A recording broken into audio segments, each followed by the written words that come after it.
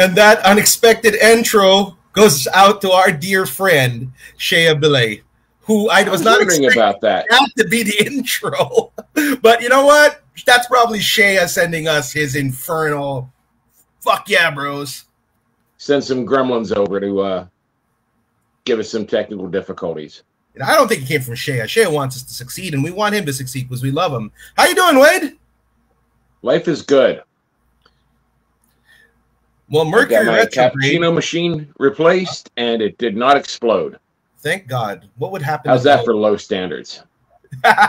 well, you know, I'm happy you got that because today, bro, we're, we're once again wrapping up season three of um, Magick.tv, this time with none other than a very amazing author. Now, when you hear the word monstrous gnosis and human monstrosity, what comes to mind, especially in a magical perspective, what comes to mind? Oh my God. Well, the first thing that comes to mind right away is I think about the whole body of magic that's written around H.P. Lovecraft's fiction. Fiction. yeah, I mean, But um, yeah, we haven't had uh, someone who could, in a long time, we have not had someone who could evoke those levels of just primal, mind numbing horror. mhm. well, you know what? I like you the- said, the, the oldest and um, strongest emotion of mankind is fear, and the oldest and strongest kind of fear is fear of the unknown. exactly. And it, it takes a very delicate touch to be able to play those particular keys on the piano. You know, I totally agree with you, brother, because we have one amazing fellow here. Um, I caught on to his win through his publisher, Theion Publishing, when I first saw the book, The Benighted Path. Okay. And this in itself was a real shelf trophy because it's about primeval gnosis and the mo- monster soul. And I think this is a topic that not too many people focus on because I think this is more on the shadow unleashed, if you get what I'm saying. Because a lot of shadow work wants to repress. This unleashes it. And if you like that aspect, then the next book, The Infernal Masque, goes to the next level. So without further ado, we're honored today to have on on the show none other than the author of The Infernal Masque and The Benighted Path, horror author and practicing occultist, the ever so eloquent Mr. Richard Gavin. Hello, Richard. Welcome to the show. Hello, gentlemen. Good Thank morning. you very much for having me. Well, we're honored to have you right now, my friend. And you know, we're just doing a bit, a bit of publication right now to let our friends get on the show. So, how does it feel to be on Magick.tv? Oh, I'm thrilled. I'm thrilled. It's it's great to be here. I'm glad we were able to set it up uh, for this season. Yeah, I mean, I've been kind of chasing you for quite some time. We finally got a, a decent enough of a schedule going. So let's just take one photo and share this to our friends on Instagram because a lot of our followers are on Instagram. But before we go any further, uh, tell us about you, Richard. How did your story begin? I mean, what got you into all of these practices? Well, you'd have to go back to early childhood, and I think this is uh, a trait that's quite common for a lot of people who eventually become uh, practitioners of magic or interested in mysticism or or art. Um, is that it seems to be innate to them, and for me, if I if I were to trace it back, it's probably early childhood dreams and always having this sense that the world was a, a an old place um, that there was more to it than than meets the eye. Now why i had these impressions i, I can't say. Um, perhaps it's it's past life memory.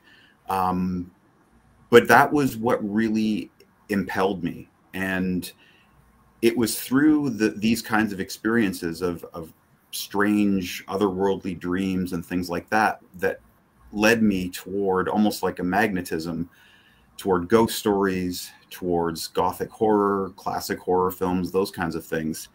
Um, and as I grew older, that led to reading more about mysticism and the underpinnings that a lot of these stories drew from uh, for their subtext.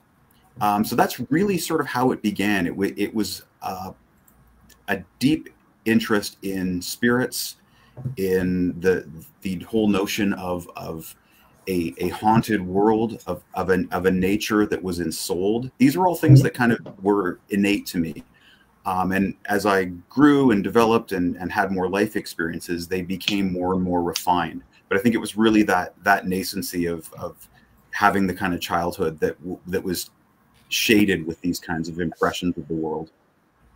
So since you said it started in childhood, who were some of your earliest inspirations for this? I mean, like I'm sure you picked up a first book that kind of got you towards this direction. Do you recall some of the first earliest influences on you? I do actually. I, I can remember vividly one of the um, external elements that was brought into my life at a really young age was my grandmother for Halloween one year gave me uh, an LP, gave me this album, and it was called Famous Ghost Stories.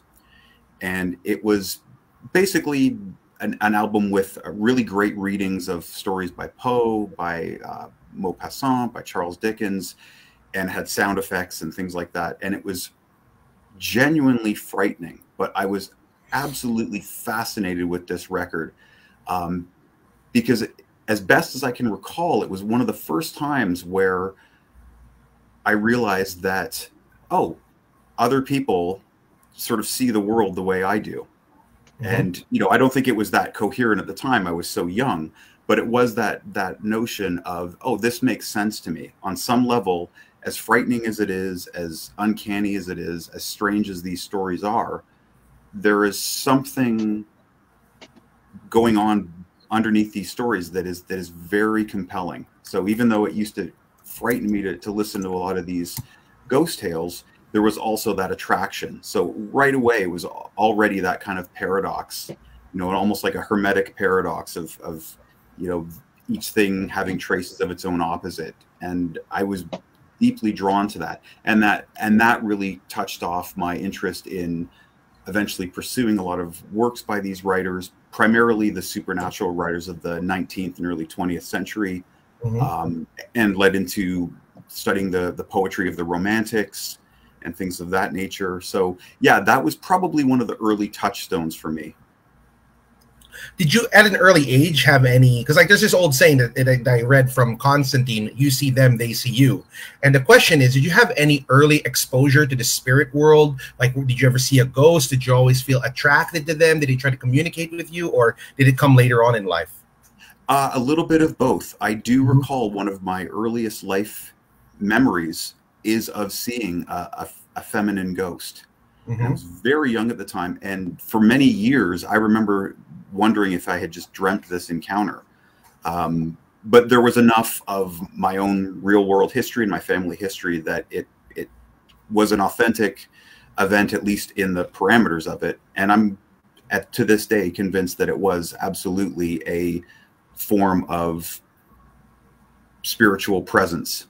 And through that, that was also where I, as a child, I was fascinated with Ouija boards and with seances, and mm-hmm. these were these were the first sort of uh, practices that I had uh, that really allowed me to delve further into this, and the my view of it became more nuanced, obviously, as they always do when we mature. But that was that was really one of the touchstones for me was really understanding that we are not alone on this planet and that there are phases of life and death and that life and death interpenetrate one another that it's not a clear cut distinction where one is an oblivion that has no bearing on the realm of the living and that the living do not have to concern themselves with the past or with the dead. Um, there's a vitality although different types of vitality to both um, and so that was that was a really seminal moment where I was able to perceive that and see how there's a, a kind of permeation. There's an ambiance of the past, of of the dead, of memory, of histori- historicity that has a great deal of impact on the way that we live our lives day to day. Um, it's just important that we learn some techniques to be able to pay attention to that, to perceive that, because it is it is it's subtle and complex. And of course, most of us, through just the nature of our, our daily lives, we're so busy and so enthralled with the kind of dayside activity, if you will, that it sometimes takes extreme measures of uh, pushing oneself to achieve that more refined state where you can appreciate those subtler aspects of the world. Digressing a bit from your personal history, because I do want to get back to that. Um, sure. I think a lot of people tend to underestimate the role that the spirit world plays in our everyday lives. And I wanted to ask you, as an author and as an expert, is it something that you feel is neglected in modern society, whereas people aren't taking seriously the role that spirits actually can affect our lives? Or is it something that you feel is already kind of overinflated? How do you feel about that topic, sir? I feel it is to our detriment, it is mm-hmm. grossly mm-hmm. neglected. Mm-hmm. Um, I feel that there's this tendency amongst modern people to feel that you have to you have to choose. You're either going to be a, a rational, intelligent adult human being that ascribes to rigid logic, or you're going to be a, a sort of naive romantic fool who's going to believe anything, to, to sort of wander through life in this gullible form.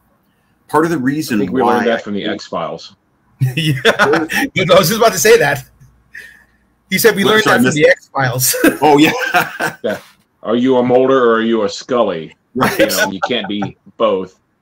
Yeah, and that's and that's just it. It's it's it's a really kind of binary black and white paradigm that's that's actually completely unnecessary. We we impose that on ourselves, um, and I think that, for for example, one of the reasons why I chose the the term benighted for the for the first book with Theion is because that term became a pejorative. It became an insult. It be, uh, in its later usage, it it basically implied someone who was uncultured, uncivilized, foolish. But its original term, and I would encourage all of the viewers, if you are, are ever interested, to um, pursue etymology in the words that and terminologies that you use. Tracing things back to their origins can be immensely important. And with benighted, it meant originally that it was nocturnal and overtaken by darkness. And when we look at this as a, as a term, that was employed here to see can a reader, can can I as the author take on this pejorative term? Can I can I take this term that was used as eventually to be an insult and see how it may have merit? Can there can there be a way to almost alchemically transform that to see well what if we what if we are overtaken by this darkness? What if we allow that shadow aspect of self to eclipse the ego? You know, to to allow that kind of solar identity based mode of being to be almost forced into uh, being a witness to things that are it may seem irrational, that may seem uh, absurd or strange or frightening or other, and it's through that that we begin to cultivate a sensibility, a, a, a means of apprehending and interacting with this spiritual realm. So to get back to your original question, yes, I think it is something where we have we feel that we've we've needed to discard that. And that's to our detriment because it is really cutting off a major root of who we are as people, of of the planet that we live on, uh, which is a living, ensouled place that we inhabit with all sorts of other life forms. Um, and I think that that is a way to enrich one's life is to begin to cultivate that sense of understanding the the spiritual the unseen the the mystery that that perennial mystery that permeates everything um because without that it it can often just one's life can just degenerate mm-hmm. into ego gratification, you know, paltry paltry needs kind of going based on whim, based on pleasure principle, and there's no depth to it. You know, you skim the surface of your life and then suddenly, you know, you turn around and look and realize that these decades have passed and you've not actually really bothered to have any introspection, have any understanding of anything other than that that chattering ego that is always trying to steer the ship and control you know what we allow in what we what we allow ourselves to uh, practice to do. So it really becomes a, um, a kind of dictator which is not at all necessary. Um, it can be used you know in in the correct measures of course logic the, the, you know the ability to rationalize our intellects they're they're an important part of our life. They're an absolutely uh, vital aspect but it is just an aspect. It is not the entirety. And that's where my writing comes in as a as a at least hopefully as a means to inspire other modes of thinking other ways of being it's funny that you mentioned that because um, the energy that I'm picking up from your book, especially your books, there's a very dark energy to it. And I love how it romanticizes the human darkness. But one thing people have not done is dis- differentiate between the words dark and evil. They are not the same. They are not Absolutely. at all the same. People think, oh, it's dark, it must be bad. No. Example, if my wife leaves me for another man, I'm in a dark place. Doesn't make me evil. Okay. The thing about it is when these dark things happen, a lot of energy is released, transformational energy. Good example yes. would be Vincent van Gogh. A lot of darkness happened to him. He did a lot of beautiful things. However, the problem is people are too afraid to delve into that.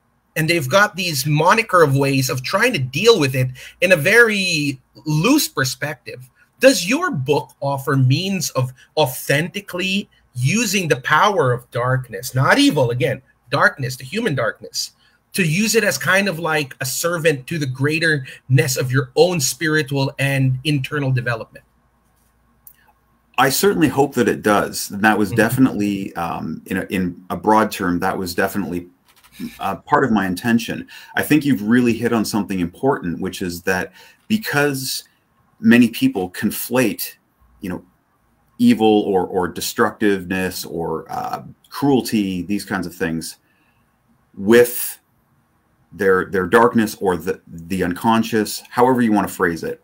Um, there is that trepidation because they think if they explore that, it's going to knock the lid off this Pandora's box and horror and violence and and mayhem is going to ensue. Mm-hmm. But again, you know, when when we look at it from a, a more in I guess for lack of a better term, enlightened perspective, you really begin to see that dark and light are they're they're differences in the way that a grotto is different from a mountain peak. You know one is not good and the other is not evil. They're just very they provide different perspectives. They're very different experiences.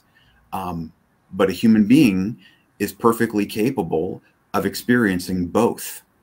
And i think uh, one of the reasons why the the imagery that permeates a lot of my work is dark and and uh, has that that otherness that imbues it is because the human condition has become almost ironclad in its certainties about uh, what is truth, what is what is correct in terms of modes of behavior, what is what it means to be civilized and sophisticated, and to maintain this kind of uh, you know progressive linear mode of constant self improvement well it's so rigid that the things that lie outside of that are now in a shadow world. They've they've been cast off which does not mean that they have been you know destroyed or or removed from the human condition.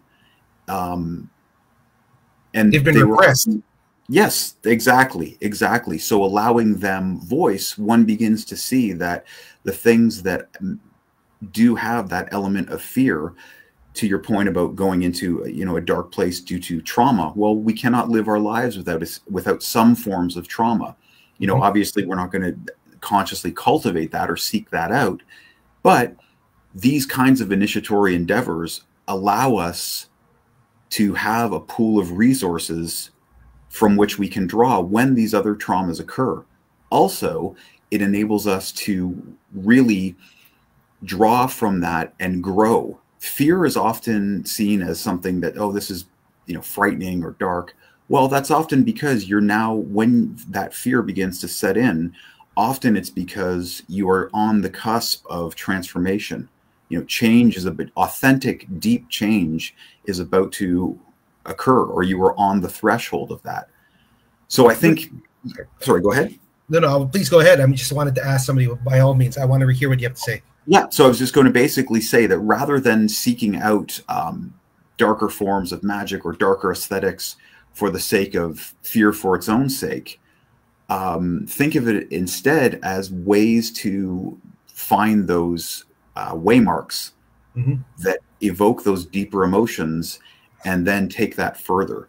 So it's less about just trying to get th- thrills and chills and and having you know your life resemble a horror film or something like that. It's more about using that and getting to the depth of what these things may mean, where they may lead to, um, what they signify. Because I, at this point, Mr. Gavin, I don't want to like come off as somebody who's wrongly classifying your book, but I've actually taken a personal interest in the study of shadow work. Okay, that's a term you're hearing a lot nowadays, and a lot of the white lighters out there, oh, shadow work, shadow work, shadow work. But um, right. for ninety percent of the stuff I've read, couldn't even hold a candle to what I've read here in the Benighted Path. Do you know why? The other aspects of shadow work I've read outside of your book has all about forgiving and you know treating your shadow or even the, your benighted self as a problem. This one actually unleashes it celebrates it said hey this is you. This isn't going anywhere. It's peter pan's shadow. You know what i mean? You gotta work with it. It's not going anywhere. And this is what i loved about your book because it shows to the world a common human condition but it doesn't show it as a as an aspect of this is something that needs to be solved. In other words, this is something you need to learn to work with and let it work for you. But there is something I wanted to ask. I've noticed with a lot of people who do tend to di- dive into the more benighted side of things, sometimes they lose themselves to it. Like Absolutely. I've, I've coined it shadow possession. I don't know what you call it. Is there that danger? And if there is, based on your studies, how can you prevent it from happening?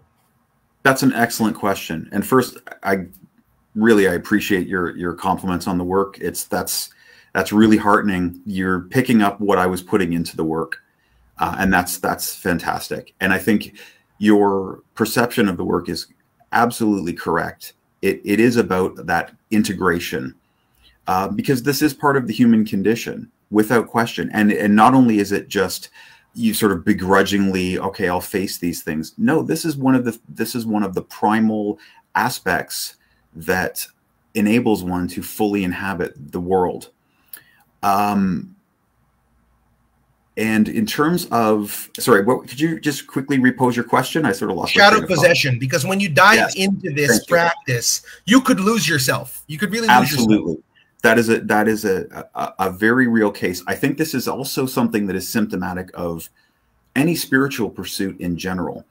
Um, there is always that risk, and this is why I think it's really important that with my work, I, I would never advise anyone to completely disregard their, their their, logical mind, their their sort of day day side life, if you will because it's an integral part of one's life and it provides that balance.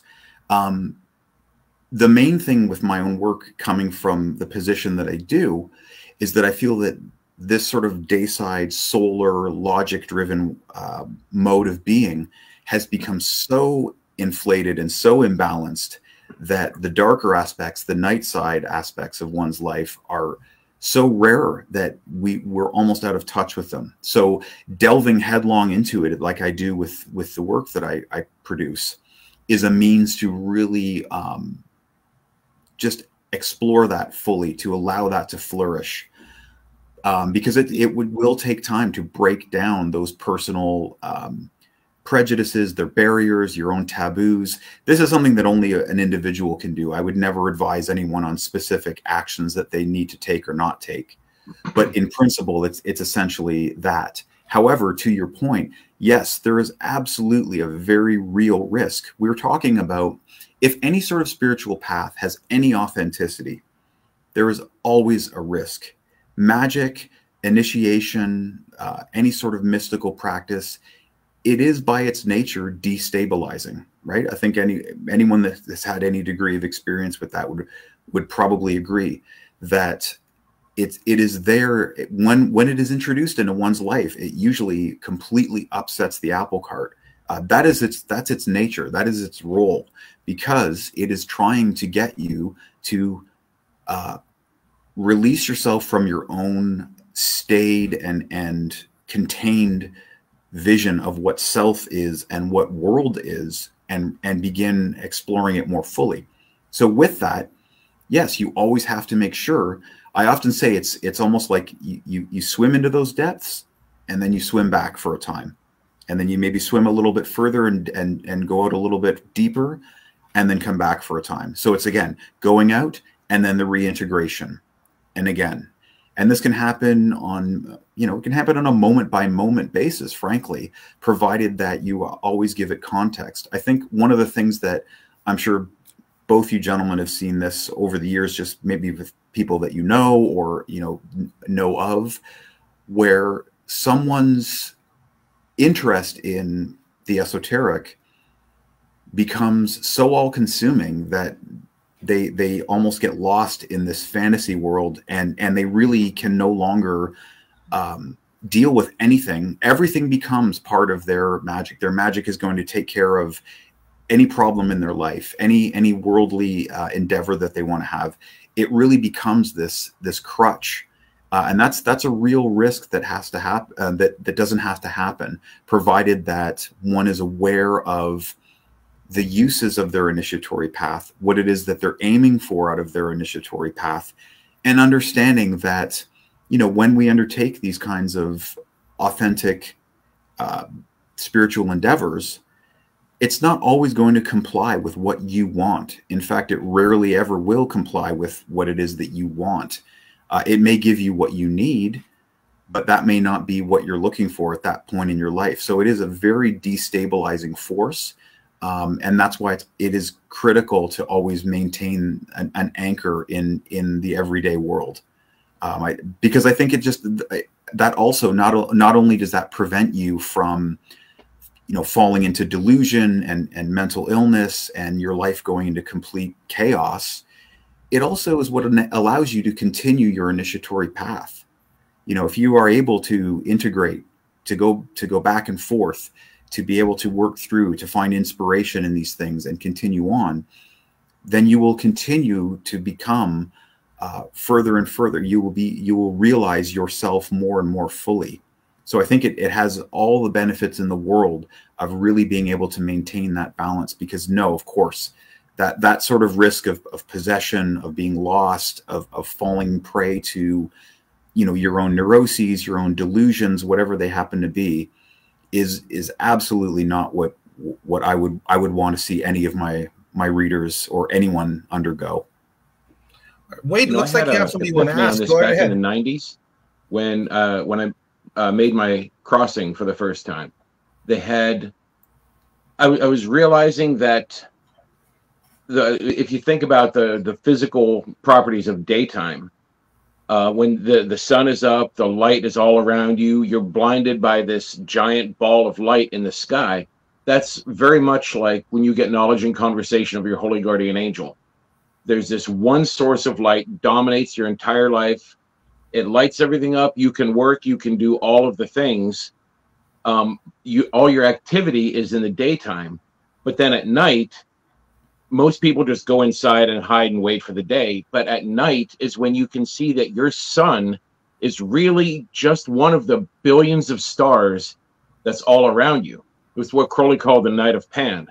When you realize that, yes, I'm here, and all of these other lights are also here and you can really see beyond your own sphere of influence uh, which is why there's a difference between the order of the golden dawn and the order of the silver star you know come get me mathers but the what i've noticed is that if you had if you've ever grown a garden you notice during the day flowers open up they suck up the sunlight they do all the you know putting out roots and everything but all the growth happens at night that's right. And it's the same thing with people. You you you go about your activities, you gather your strength, you do all the things in the light, and you do all your growing in the dark. Which Absolutely. I, I, I always make a difference between darkness and nighttime because nighttime isn't dark.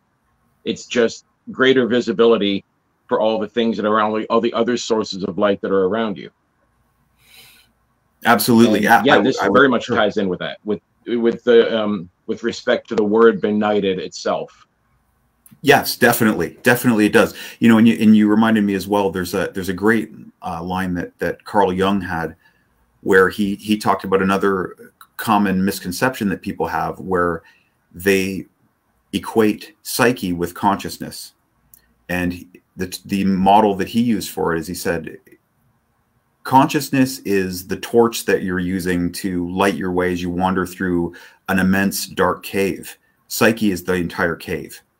Psyche is the whole thing. It is it's the light of consciousness as well as this enveloping darkness that is you know filled with with potentia that is filled with uh, other forms as well as you know as you were saying there it's it's it is that form of of growth indeed It's going to bring me to the next segment I wanted to discuss with you. Um, just just a little bit of a segue back to your own personal history. You was sharing that you were very very much into this whole the horror, the ghost stuff, stuff. But what made you take the leap that most horror or supernatural enthusiasts don't take, which is the leap into the actual practice of magic and occultism? Because you could have gone either the Neil Gaiman route and just stayed a re- reader and writer, or you can go gone the Al, Al Alan Moore route and just dived into it head neck deep, and now is the walking talking wizard. And obviously, we went knows which one you chose. So, what made you take that leap into actual occultism? Uh, what was your what was the the pull? What was the decision? You would you mind sharing about that? Yeah, no, not at all. And that's a great question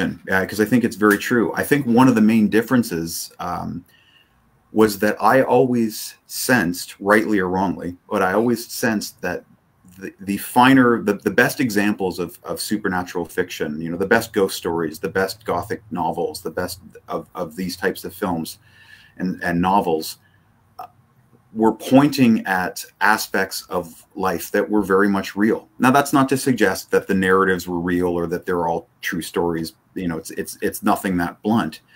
But really it was conveying impressions of the world that were, you know, based not just on folklore and myth, but on a, a, a kind of visceral experience. Now, the particularities of these forms, be it the vampire or the werewolf, these may be or ghost these may be just metaphors for something that was basically implying the fact that we inhabit an ensouled world that is teeming with presences of all sorts that we will never be free of of the past nor should we be that you know nature is is here as a, a living force that was not designed for us. So there is a certain degree of risk and danger in nature but also a great deal of beauty so these were always things that were in the back of my mind and it's it was always a natural inclination that literature was only one avenue to experience this. And the way that i viewed it was i was going to try and take as many avenues as i could to have as inroads to this this sense of the perennial mystery of being um, you know, and that includes love, that includes literature, that included, um, as I was mentioning, seances and things of that nature.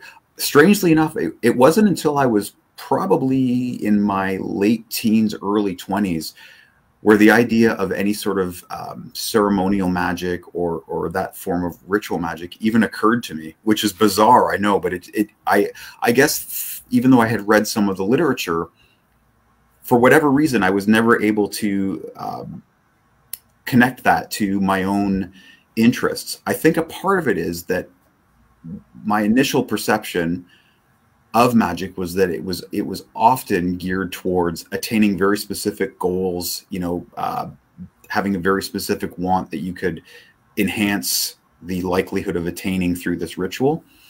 And there's no moral judgment on that. It was just for me, I was more interested in having that door to this other place open up.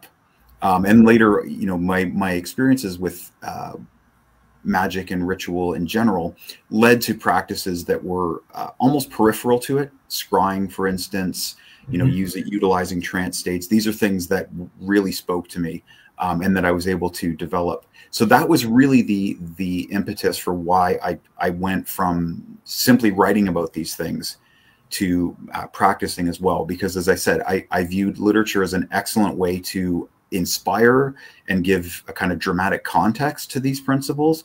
But I knew that the principles themselves were independent of the art form. They weren't, I, I never viewed them as products of just the human imagination to give people something to, to entertain them um, for, for an evening. It was really pointing to authentic impressions of, of the world that is not just the humanistic conception of the world, but more of the world entire, including this this subtle um, supernatural, for lack of a better term, but the spiritual the spiritual plane that I always felt was just outside of the apparent, that was just there, um, and so I was looking for all, any any means I could find to to penetrate that realm, to experience that realm, and engage in a dialogue with it. Well, this is pretty, you know that was amazing. And um, for those of you who are also interested, we have Richard Gavin on the on the show right now. And if you ask me, this is probably the best talk I've had on true shadow work in a long time. All right, so thank, oh, you very you. much, Richard, for this. Because um, we're going to go to the next segment, which we basically is what we call the current event segment with Richard. But I do want to ask something particular because um, as we were saying earlier, your book helps not just understand the benighted nature, which I think is the true unleashed shadow or repressed nature of the human psyche, but it even teaches you to celebrate it, which a lot of talks nowadays with the term shadow work being very popular, it's getting a lot of like, it's getting a lot of, how do I say, popularity from the wrong people. The way I've seen it is like this the way most people talk about the word shadow work is if you have a nuclear arsenal, they're telling you to disarm it.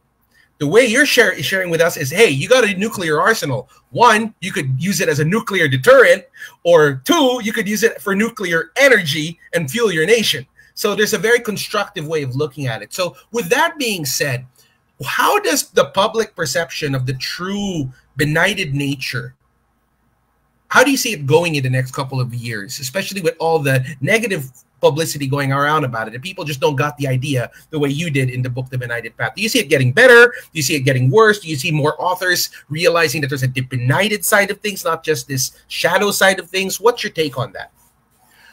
That's a great question. You know, I, I hopefully I would love to see because I think that anything that has a kind of superficiality to it mm-hmm. will eventually fizzle out and I understand that you know right now there's a lot of interest in in magic in general and in uh, whether it's it's forms of witchcraft or quote unquote witchcraft that we you know we see through social media these kinds of things will i think eventually peter out i think generally speaking there will always there's always going to be a core and it may be a small minority but they are always going to be yearning for something more authentic mm-hmm. and i think that with these very rigid, uh, almost puritanical moral judgments on how we should be perfect and and how we should be you know without any quote unquote flaws.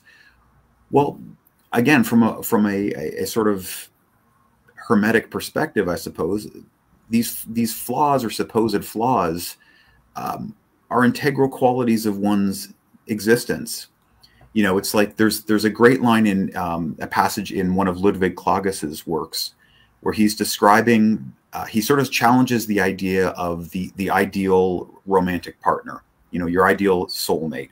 And he said the sort of the sort of platonic ideal is that this person just embodies these universal qualities and it doesn't really you know you can ignore their flaws because they have these other aspects of them that are eternal and there might be some truth to that, but Klages's challenge to that is if you were to have two identical, you know, spouses that were your spouse, you would know which one was authentically yours because all of these supposed quirks and shortcomings, that is what makes that person that person. Um, you know, and, and a little earlier we were talking about the constellation of stars, and I think that's one of the great things, um, one of the in my opinion, one of the finest things that Crowley ever wrote was just that that very simple notion of every man and woman is a star. There is absolutely has, yes, right, and they have they have their own trajectory, they have their own path. There's no you know this this idea of of needing to sway other people to your own mode of thinking is nonsensical. You know, it not only is it detrimental, it's it's completely nonsensical. But with well, that, they're following you around. They're not stars; they're planets. exactly, exactly, exactly. So it's a, it's a nice simple model that I think is really applicable, because you know one of the things that is the most basic, um, and it's really one of the simple kind of life philosophy lines that that I pulled from Oscar Wilde when I was very young from the picture of Dorian Gray, which is that the aim of one's life is to realize oneself fully. And I believe that that, that involves th this kind of uh, exploration of, of, of these supposedly darker aspects, because again, they often seem negative only in the context of a modern mindset, which is extremely secular, which is extremely mechanistic, which is often hyper capitalistic, which is often, you know, very paranoid um, about how you're going to appear to others, um, how this, you know, how this may look, how this may damage your your social media reputation or whatever it happens to be. Um, and that's a real neurotic fear, which is never a healthy place to act from. Um, well, especially and, these days, we have so much going on. Mm-hmm. The human race is going through a very dark time Mm-hmm. And that seems to be manifesting as narcissism and authoritarianism. And conformity. This is and something you, Don't you forget can't conformity. get the genie back into this particular bottle. We have to work through it. I mean, especially in light of American politics and recent presidents and people who are finally learning how to be their worst selves. Right. And just accepting that as part of themselves, but they're not incorporating it into a functional whole yet. Mm-hmm. Hopefully soon, but not yet. Which brings me to my next people question. that are that are just acting out all their worst impulses, and they're finding the freedom to do that. And eventually, it's got to be like when little kids learn that they can draw on the walls. Eventually, they have to figure out like, look, there's a time and place for this. You can do it. You have to do it on the walls that need drawn on. You have to draw the things that need. You don't just walk around drawing a butt on a wall in school because you figured out that you can. We have to mature to the point that we can actually make use of this power that we've discovered in ourselves. This brings me to my next question. I wanted to ask Mr. Gavin about this. Uh, and in plain and simple English, because we will use this for the um, for the, the the the real. What are the benefits of the truly actualized benighted soul when you finally have come to accept and unleash that benighted soul? that benighted version of you. You're not in repression of it anymore, and it's not controlling you. It's an inter- integrated part of yourself. What are the benefits of the benighted soul? The main benefit that comes from this is the absolute freedom that comes with letting go and understanding that a lot of these things that we feel we've got this ironclad grip on that make us ourselves and if we if we if our grip loosens even slightly, everything is going to fall into chaos is simply untrue. It allows one to be able to listen and perceive more deeply. It allows one to understand that they are part of a deeper world that this planet is not simply a collection of resources for our that we can call for our own amusement but that it is a, a delicate web uh, that that is interdependent. Um, it allows us to understand the both the you know the beauty and the horrific and the horror and the beautiful. It allows one to really understand and be completely fulfilled by paradox. You know, I believe that this is this is a, a crucial part of existence in general, initiatory existence in particular, is the the concept that terror and the sublime are inextricably linked. They, and and there is beauty in one and there is horror in the other, and that they they feed into one another. So by having that, one's life becomes dynamic, one's life becomes inspiring. Um, it's no longer a a mad chase for something external that you know is a, is a goal that they're after or some material possession or some form of social status. You know those things can be they can still be an aspect of your life but you will be functioning on a on a i think a, a deeper and darker in the sense of again like a cave like like the the, the sort of quiet solitude that comes um, where you feel centered once again. You will be functioning from that that deeper aspect of self. You will be acting from the depth as opposed to a, a quick reflex or a, a neurotic sphere of not wanting to look foolish or to say the wrong things. Um, it's it's a matter of listening and acting and engaging with otherness, with darkness, having that dialogue of a constant reciprocal back and forth dialogue. One it's authentic, ask, right?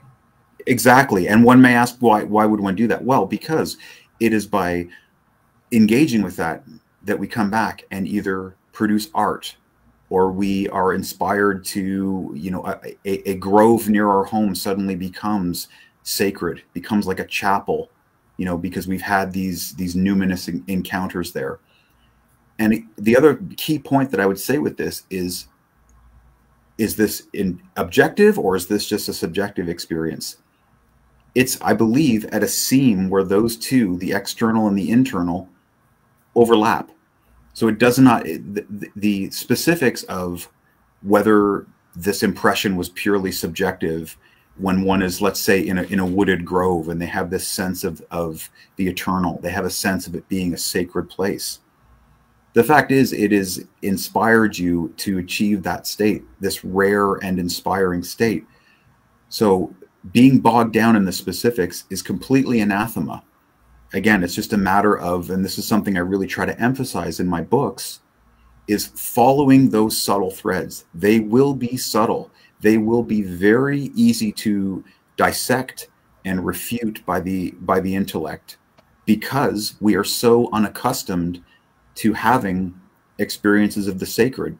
Our, our lives are the modern world is really not structured for us to factor that in any longer.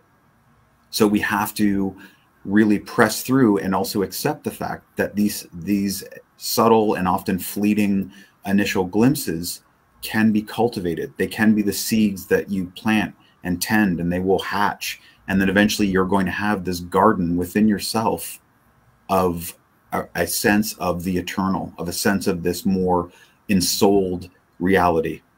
And I think that would be the main benefit.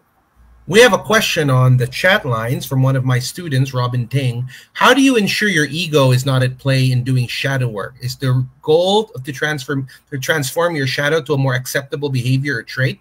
I'd love to hear your take on that, Mr. Gavin. That's yeah, that's a great question. I think you know the ego is is a really it can be a very insidious force in in any sort of endeavor.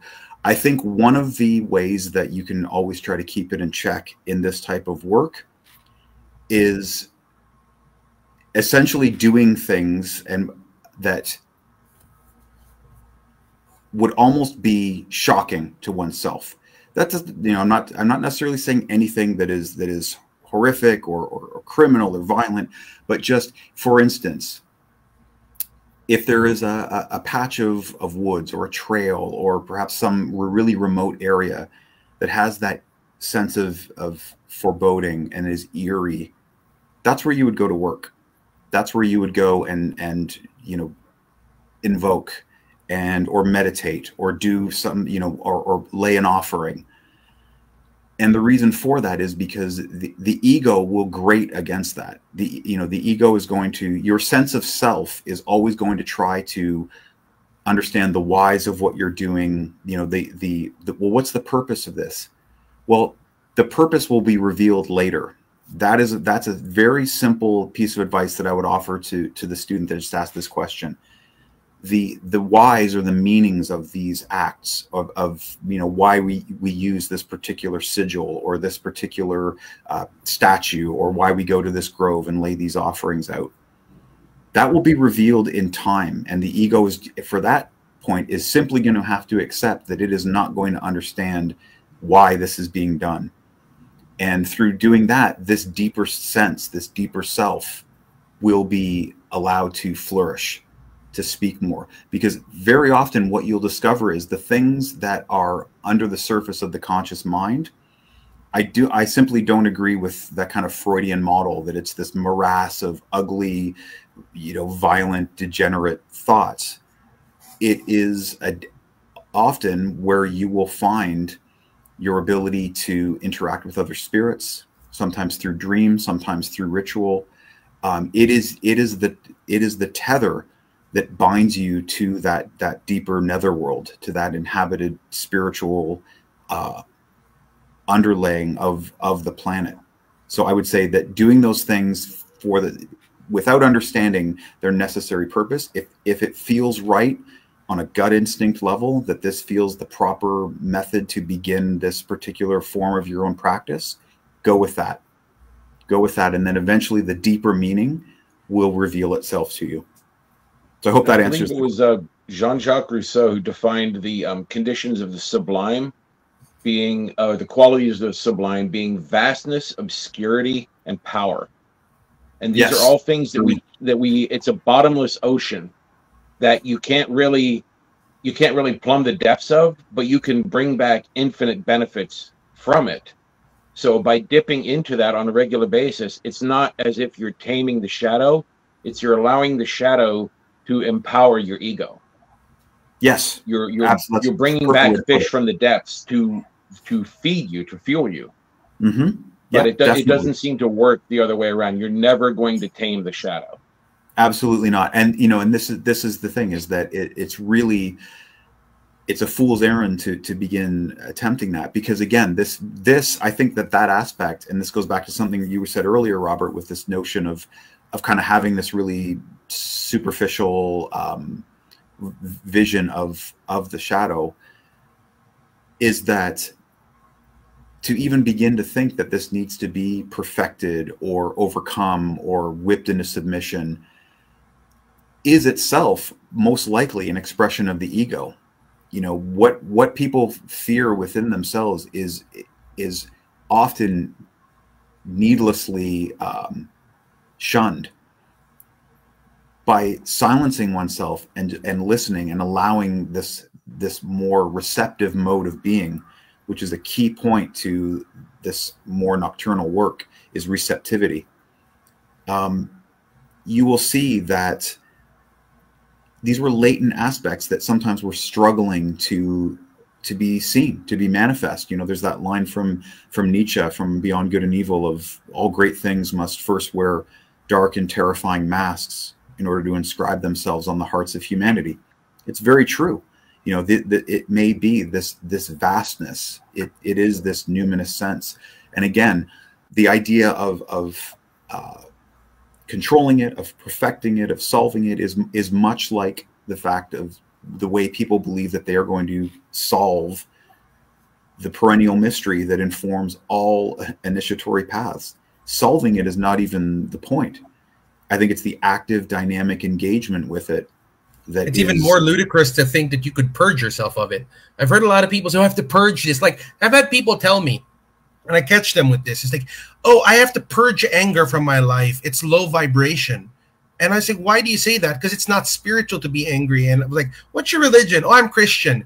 You know that Jesus went ape shit when they turned his temple into a market. And if he can do it, you know what I mean? That's Jesus. So come on, anger is just as human as love and you have to not learn to purge it because purging it's not going to get anywhere you have to learn to accept that it's part of who you are it's that Yes. acceptance that gives you control over it and i Well, think it's as almost well the difference with- between Edison and Tesla, when one of them thought, well, we should have all this electricity should be in nice, neat little containers and carried by wires. And you know, Tesla is like, no, there's electricity all around us, and all we have to do is dip our hands in and pull some out. And so if you if you look at them from those particular points of view, yeah, you're like, yes, okay, it's it's very powerful. It can easily, you know, fry you like an elephant, but it can also, you know, power all of your well everything, even you know the devices that we're working on right now Mhm. to communicate. It, it Yes. really depends on how you use it, and there's no way to abs- absolutely contain it where it won't just die on you. And i think as, as well you know with with that i think a lot of those initial fears that people have about um, any sort of exploration of of this of the more unconscious aspects of, of existence is they almost default to these extreme negative damaging examples right? I can't do that because then i'll be if i embrace anger or i i if i don't purge this then i'm going to be enraged all the time and i'm just going to be impossible to deal with. If i allow this to you know if i don't stay in control of this then i i could become you know out of control with by allowing this to manifest. The one of the key points is we're never in control. We're we're never in control. Our bodies function automatically. The idea that we are always in control of these things at all times is ludicrous because so much to the to the point that was made earlier about you know seeds growing in the dark so much of our existence is unconscious. It is out of the reach of the conscious self. Now it can eventually maybe access parts of it. That's that's absolutely true. But at any given moment of the day we're not even aware of a lot of the the the impressions, the thoughts, the um, moments of inspiration, the you know memories that are tr being trawled up for no reason. This is all going on beneath the surface, um, and that is that is absolutely as it should be, and that is way of I, I believe all existence. The majority of it is occurring beneath the surface in the dark under uh, out out of the uh, out of view of the apparent or behind the apparent or within the apparent and so these types of practices are what allows one to engage with and and and tease out these aspects these deeper aspects. Um, and that's that's to me again a more fulsome experience of the world. It's not even about dark or light. I think a lot of these images and things like that seem other and seem so dark to us because we are so divorced from this uh, vision of an ensouled world. You know, I really believe that the the concept of, you know, the spirits of the dead, for instance, are frightening to a lot of people because we we need to believe that death is a finality.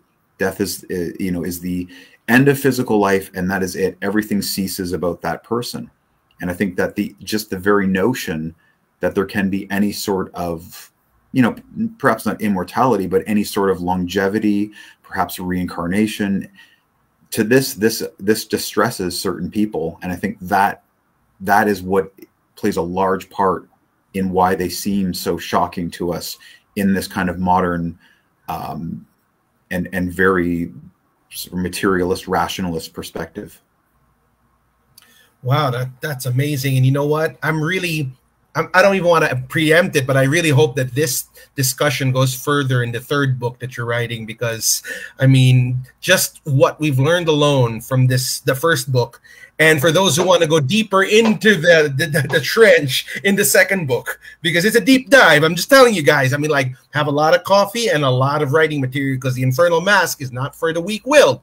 I'm just so thankful to have learned this from you because, like I said, there's a lot of posers out there who don't know the time of day of the shadow, and I don't even think it's right to call what you teach the shadow. It truly is the benighted. So to that, I really, really thank you from the bottom of my heart because right now is my favorite segment of the show, Occult X. And now right. Richard Gavin is going to teach us something. I really hope it's not the cookies we were talking about, but I'm, I'm going to give you the floor right now, Rich. Um, we'd love to hear what you have to offer because you know this episode is all yours. All right. So what are we learning from you today?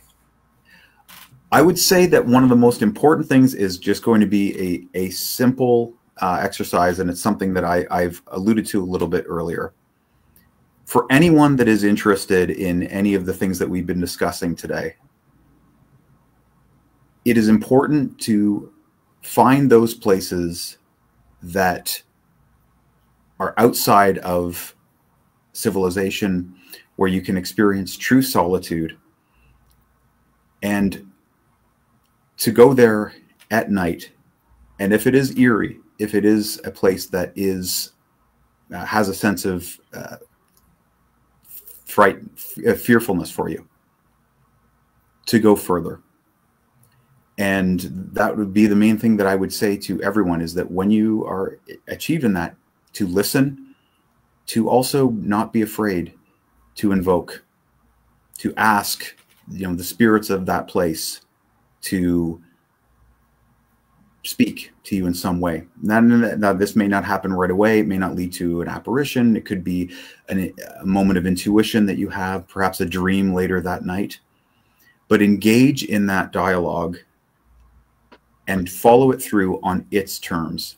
If there's one thing that I would advise anyone that is interested in any form of mystical endeavor, it is to not view it as simply another or slightly more exotic way of attaining what you want materially.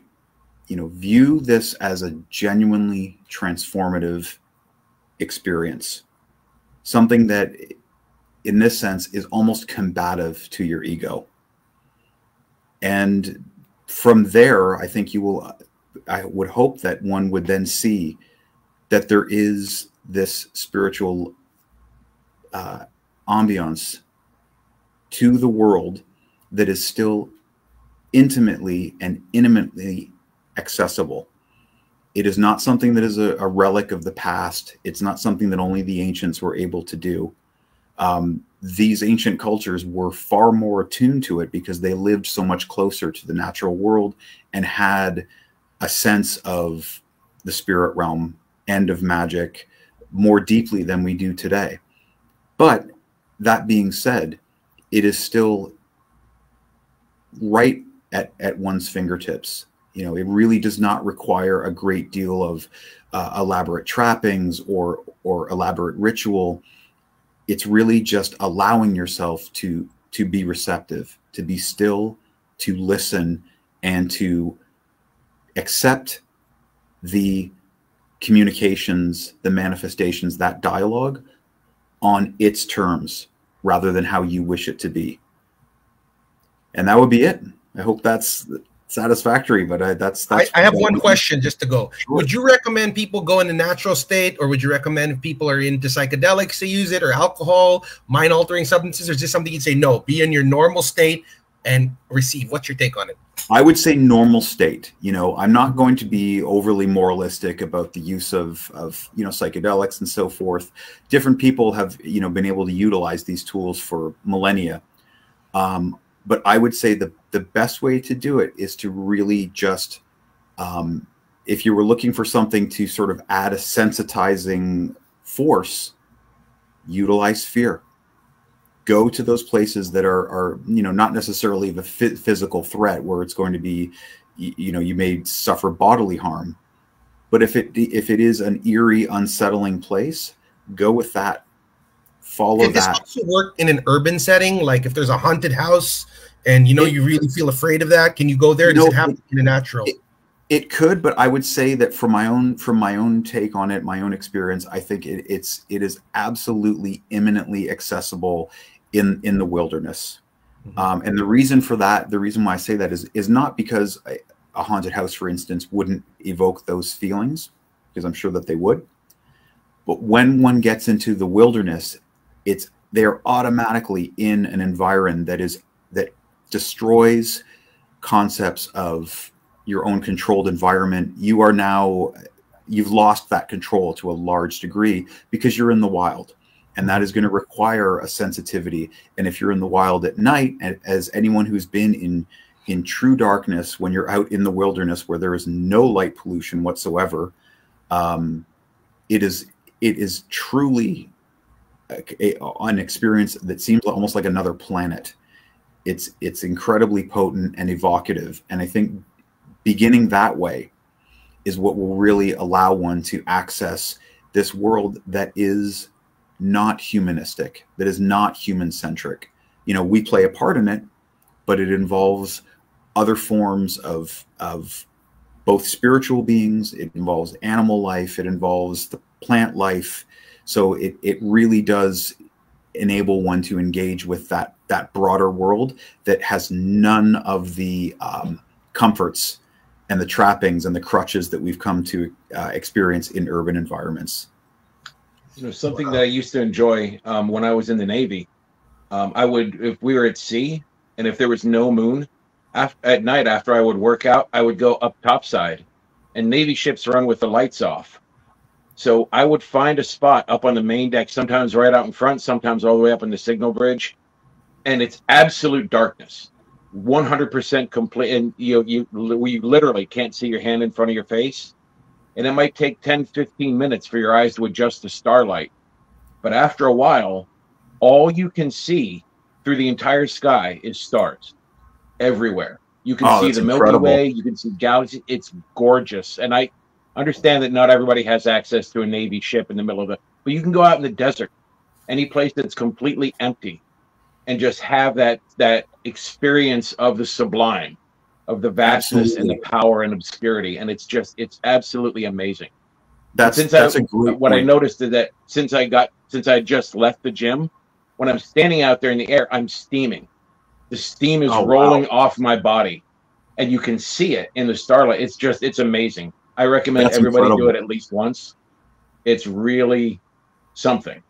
What a great story. And uh, you've also hit on something I think that is another really critical point, which is it is absolutely not necessary to um, make these excursions needing to go to a very specific exotic place where you have to, you know, save up thousands of dollars and travel to somewhere that's been uh, a noted spiritual place. Anywhere on the planet, you will be able to find some place of uh, of the wild space that does speak to you on that level and you can begin there you know that that's one thing i always advise it's not necessary to to travel to the pyramids of giza or to you know to ancient to ruins in greece for instance you can find these places anywhere on the planet Especially the stuff that's not man-made. yes absolutely yeah that's key Very much. Thank you for your work. This is something Yes. that that we need. Yeah, before Oh, we forget, so um, once again, uh, Richard is the author of these two amazing books by Theion Publishing, The Benighted Path and The Infernal Masque. Do you have anything you want to plug? Upcoming workshops, seminars, books that you'd like to share with the public? Well, at the moment, I'm just uh, in the midst of working on another collection of supernatural fiction. So that'll be the next book. And then after that, I'll probably be returning to do some more of uh, work on the esoteric books. So All right. And you have a website that people can can can visit you at? Yeah, it's uh, richardgavin.net. And I'm also on Facebook. If anyone wants to send a friend request, I'm there as well. Can we order these add- books off your site? Yes, there are all the all the books are linked on my website as well. Yeah, they're by Theion Publishing. Very beautiful books and very well taken care of. I mean, very well presented. Um, like I said, this is two, but I was already sensing after the second one, the third one is coming, hopefully before my 50th birthday. So once again, Richard, it's been such an honor to have you on the show. Thank you for helping us towards the tail end of season three. And that being said, don't go anywhere. We're going to put you in the guest room and give you our firm, formal thanks afterwards. Wade, you and I got a special guest to wrap up season three. We're going to announce him now. Good night, Richard. Have a wonderful day. Been a pleasure, gentlemen. Thank you. Thank you.